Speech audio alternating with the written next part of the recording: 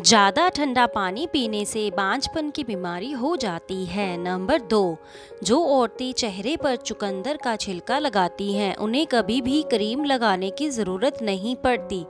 Number तीन, नींबू का पानी कंघी पर लगाकर बालों में लगाने से बाल चमकदार और मुलायम हो जाते हैं। नंबर चार, अदरक वाला पानी पीने से शरीर में जमा हुआ खून चलने लगता है। नंबर पाँच, बादाम खाते वक्त मुँह में कोई कड़वे बादाम आ जाए तो उसे खाना नहीं चाहिए ये हमारी सेहत के लिए अच्छा नहीं होता। नंबर छः, आँखों में आँख का दूध भूल कर भी नहीं डालना चाहिए, नहीं तो आँखों की रोशनी हमेशा के लिए चली जाती है।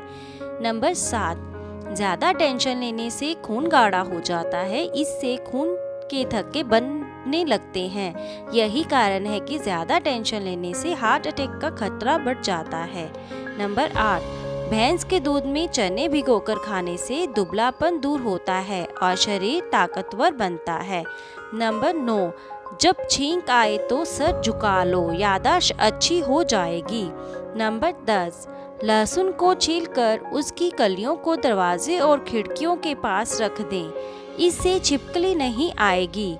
नंबर 11 जब मोबाइल फ़ोन एकदम डिस्चार्ज हो गया हो तो फ़ोन ना सुने क्योंकि उस समय रेडिएशन हज़ार गुना ज़्यादा होती है, जो हमारे दिमाग और बीमार करने के लिए काफ़ी है। नंबर 12 यदि आप टॉयलेट जाते समय अपने दांतों को दबा कर रखते हैं तो दांत मज़बूत रहेंगे और कभी लकवा नहीं होगा। नंबर तेरह, किचन से चूहों को भगाना चाहते हैं तो किचन के कोने कोने में कपूर रख दें। नंबर चौदह, अगर केला खाने से आपको कब्ज की प्रॉब्लम होती है तो केला खाते समय उस पर थोड़ा सा काला नमक डाल दें। इससे कब्ज की समस्या नहीं होगी। नंबर पंद्रह। ऐसे लोग जिनका ब्लड प्रेशर कम हो जाता है, वह रोज़ाना खजूर का सेवन करें। इसके अलावा लाल चुकंदर का इस्तेमाल भी बेहतर रहता है। अगर कोई बंदा अजीब तरीके से और ज़्यादा खाता है तो वह टेंशन में रहता है। नंबर सतारह, ज़्यादा चीनी वाली चाय पीने वाले लोग जल्दी ही मोटापे का शिकार हो जाते हैं। नंबर अठारह, दही में चीनी मिलाकर खाने से पेट दर्द में आराम मिलता है। नंबर उन्नीस। जो महिलाएँ बालों को बाँध कर रखते हैं तो उनके दिमाग को ताकत मिलती है और बाल कम गिरते हैं। नंबर बीस। दही के साथ मछली का सेवन करने से आपको कई बीमारियाँ हो सकती हैं। नंबर इक्कीस। मूली के साथ दूध, खीर, संतरा, करेले व चाय का सेवन भूलकर भी ना करें। यह आपके शरीर में जहर के समान कार्य करता है। नंबर 22 अगर पेट में दर्द हो तो ज़ीरा पीसकर शहद के साथ चाट लो, फ़ौरन ठीक हो जाएगा। नंबर 23 सोने से पहले सौंफ का सेवन करने से आँखों की रोशनी तेज होती है। इसलिए एक चम्मच सौंफ के साथ दो बादाम खाएँ, कुछ ही दिनों में अच्छे परिणाम मिलने लगेंगे।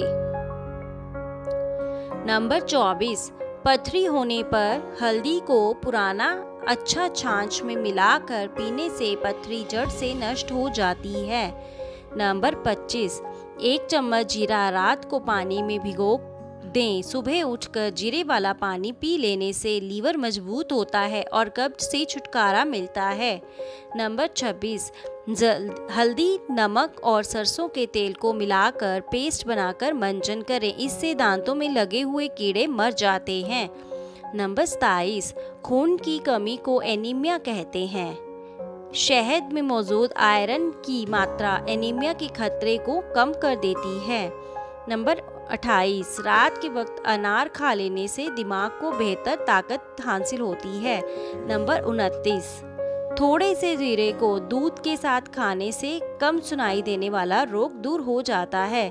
नंबर तीस, भोजन के बाद थोड़ा सा अनारदाना, उसमें काला नमक और मिश्री पीस कर मिलाने से के बाद पानी के साथ एक चम्मच खाने से भूख बढ़ती है।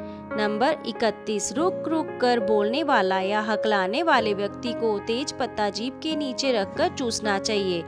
इससे हकलाना तथा तुतलाना दूर हो जाता है। फ्रेंड्स इस वीडियो से आपको थोड़ी सी भी हेल्प मिली हो तो प्लीज़ वीडियो को लाइक कर दें, दोस्तों और परिवार के साथ शेयर करें और मेरे ऐसे ही टिप्स और ट्रिक्स की वीडियो देखने के लिए चैनल को सब्सक्राइब करके घंटी को दबाकर आल पर टच कर दें, ताकि जब भी मैं कोई नया वीडियो अपलोड करूँ, उसका नोटिफिकेशन आपको मिलता रहे। वीडियो देखने के लिए आपका धन्यवाद। चैनल को सब्सक्राइब लाइक कमेंट